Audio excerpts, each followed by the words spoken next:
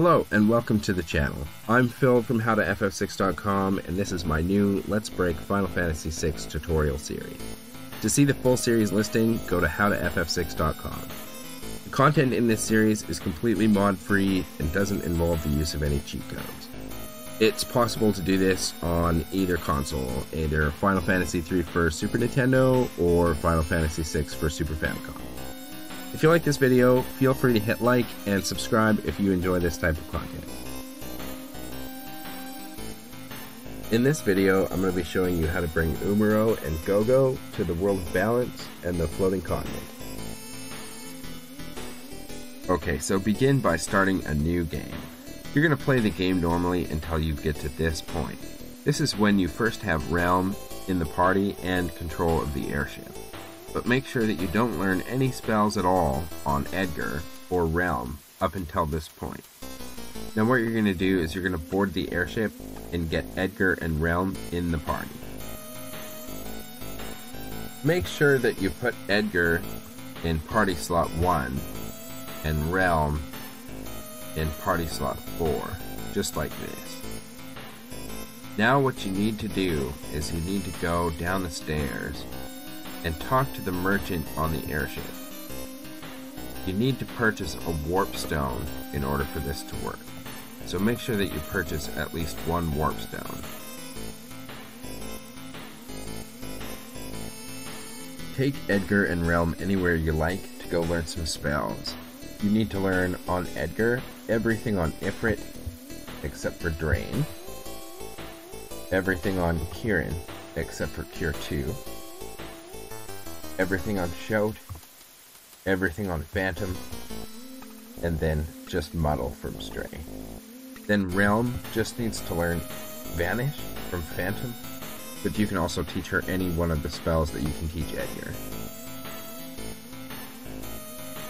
Now that you learn those spells, take the airship, Relm, and Edgar over here south of Nard. You're going to be looking in this forested area for a battle with two Leapers and two Dark Winds. But before you do that, let's take a look at your party. You need to set up your party before you do this with the correct parameters. So first off, make sure Edgar and Relm are both in the back row, as opposed to the front row. Edgar and Relm's health and magic points should be full when the battle begins, and then don't heal them during the battle at all. Next, take a look at Relm's equipment. She has a Chocobo brush in the right hand. Put it in the left hand. The right hand slot is going to get overwritten. And last but not least, your inventory. You need to have less than 51 items, so 50 or less items. You can see in the top right corner I have 49 items. The 51st item slot in your inventory is going to get overwritten, as well as a bunch underneath it, and then a bunch down here. You basically are best off just to shrink your inventory down to 50 or less items. Easiest way to do that is to sell off all the tonics and things that you can just buy back later. As well, you can equip some party members that aren't currently in the party. So make sure that you have 50 or less items. Then find the battle with the two Leapers and the two Dark Winds. In the battle, this is what you're going to do. Just use Relm to vanish one of the Dark Leave Edgar out of this, he can just wait.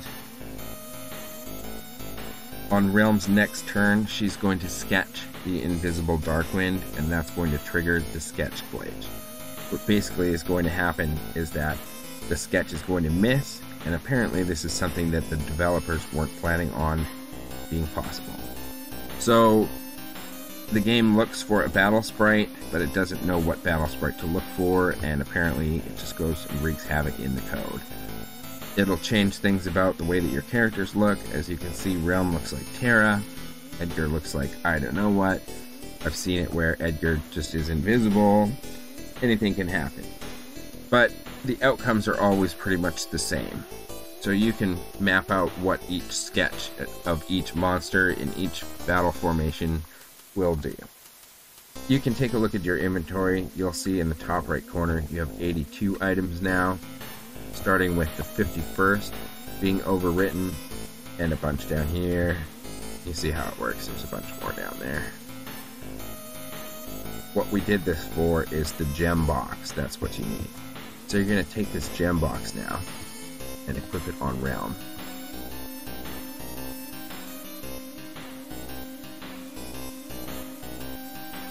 Also, take a look at Relm's inventory. Now she has a Phoenix down in the right hand. If you went and fought with this Phoenix down, anything can happen. Lots of weird things happen and things can break, so make sure that you just unequip it right away. Do any testing that you like with that on an emulator. That's my advice to you.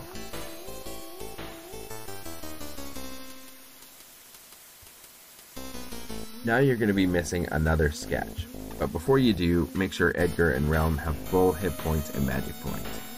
Fly here north of Narshe in the airship, and look for a battle with two red fangs. You're just going to do the same thing that you did last time. Use Relm to vanish one of the monsters. This time with the gem box, she can just vanish herself.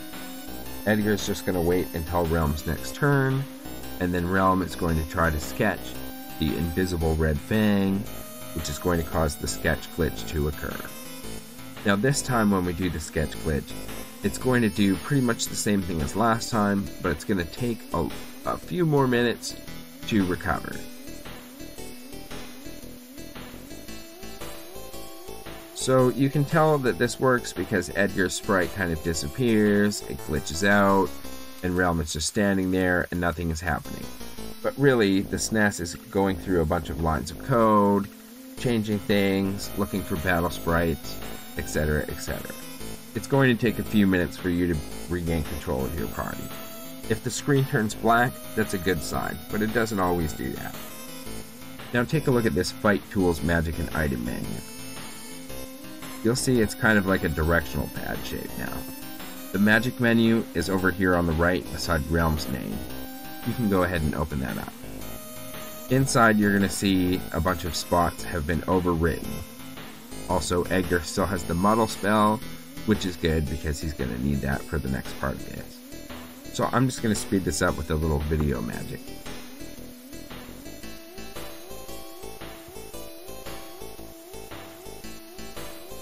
When the game recovers, you're going to see that Relm now looks like Terra again. All you need to do is wait until Relm is ready to go and use Edgar to muddle her. Before he casts it, go into Relm's magic menu. You're going to see that it's been overwritten with this Law spell, LA. This is actually Engulf. Now, this is what Zone Eaters cast on your party members, and if all of your party members get engulfed, you get taken to Gogo's lair. So now we're going to cast Law twice Edgar is going to muddle Relm, and then Relm, well muddled, is hopefully going to engulf Edgar and then herself. And if she does this properly, then we're going to be taken to Gogo's lair.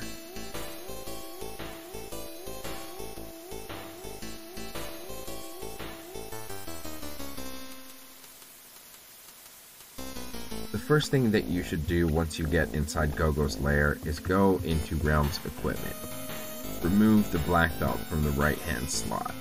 If you fight with the black belt equipped, it's going to cause sketch-like glitches and it can corrupt data.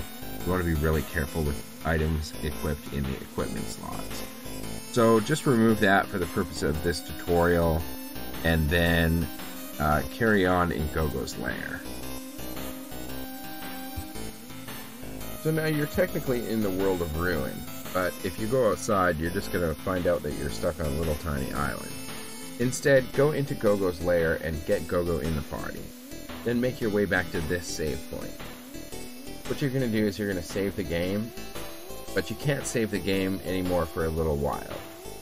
So what you need to do is go into your item menu and select the warp stone. That's going to take you back to the World of Balance map. Now just board your airship and fly up to the floating continent. Don't worry about getting every item, just make your way here as soon as possible. What you're going to do is you're going to jump back down to the airship. Now, in order for this to work, you need to do exactly what I'm doing. So, jump down to the airship, And as soon as you hit the airship deck, you're just going to walk straight over to the helm and click lift off. Now hold the accelerator button down and once you hit max speed, keep the accelerator button down and hit the X button. Then just walk straight back over to the helm and find the floating continent. Remember not to save your game, and as soon as you get to the floating continent, what you're going to do is find a battle. And then in that battle, you just have to die. So once your characters are all dead, what's going to happen is the game is going to bring you back to the last time that you saved the game. Which for us was inside Gogo's lair in the world of Ruin. As soon as you get back to Gogo's lair, save the game.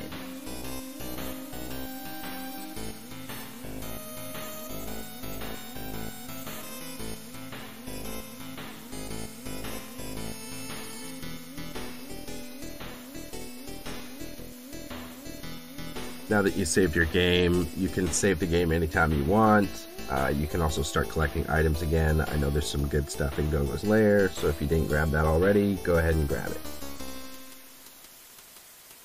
This time, instead of using your warp stone, what you're going to do is you're just going to walk out of Gogo's Lair. When you exit Gogo's Lair this way, you end up on the World of Ruin map, and because of what we just did with the airship, we end up with the airship as well. So you've just broken into the World of Ruin early. Uh, there's a bunch of stuff you can do, including you can go and fight Kefka right now if you wanted to. Um, but what we're going to do for the purpose of this tutorial is we're just going to go right over to Narshe. And we're going to get Mog and Umaro in the party. So land your airship at Narshe and bring three characters inside with you. Once you get Mog in the party and jump down into Umaro's lair, you end up in this room. I wanted to show you something here. There's an invisible switch. If you just walk down into here, you'll press it. Later on in the video, I'll show you what you just opened up. After you get Umaro, take the airship and land it over here. You need to land on this exact spot. So to know you're in the right position, you just can't walk any further east or south. Make sure that you're as far out on this little nub as you can. Once the airship's in the right spot, just walk over here to Nikeah. You're going to sail to South Figaro. Unfortunately, at this point in the game, you can't sail from South Figaro to Nikeah, so this is your only option. If it wasn't your only option, there might be more spots on the map where you could transfer the airship from the world of ruin to the world of balance and still be able to board it, but unfortunately it doesn't work. So you're only able to use that one spot I showed you. Hop aboard and as soon as you do, you're going to notice that you're on the world of balance map again. So sail to South Figaro. What you're going to do after that is you're going to climb Mount Colt, walk into the Returner's hideout, and jump into the Lete River. When you come out of the Lete River, you'll be standing in the same spot as Sabin when he jumped off the raft and washed up. After you pop out of the Lete River, all you have to do is go and walk over to get your airship.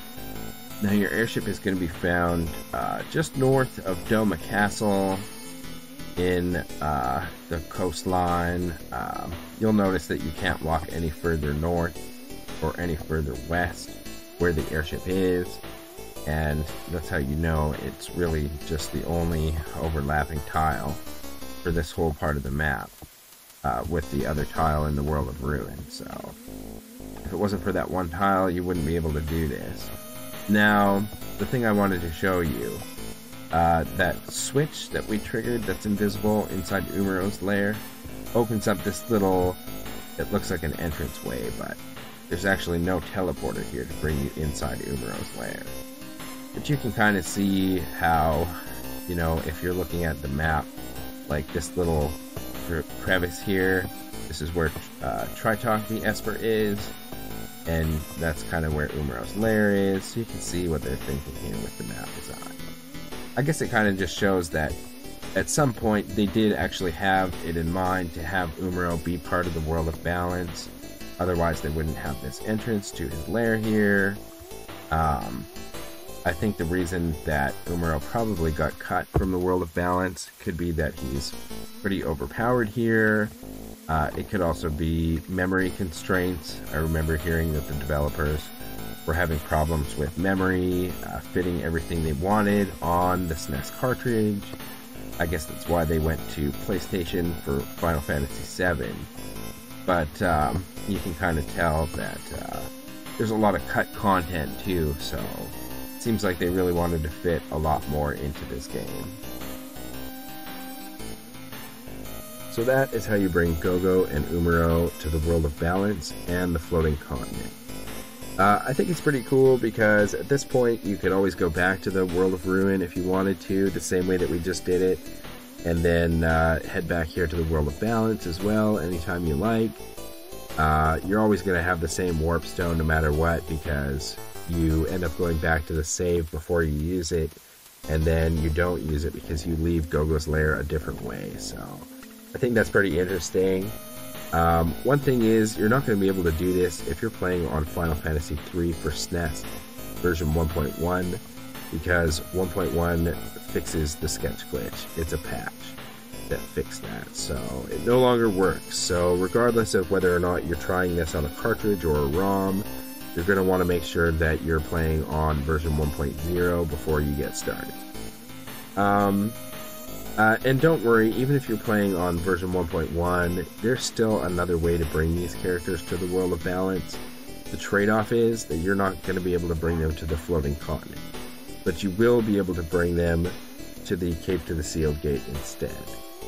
Um, so, definitely, I'm going to be making some videos to show you how that works. If this is something that you're interested in, you might want to check out my Twitch stream it's twitch.tv slash how to FF6. On there, I'm going to be showing you more detailed information about these glitches and how they work, and um, showing you an exhibition of everything that you can do with them. So definitely check that out. Um, thank you very much for watching this video, and I hope to see you in the Discord channel.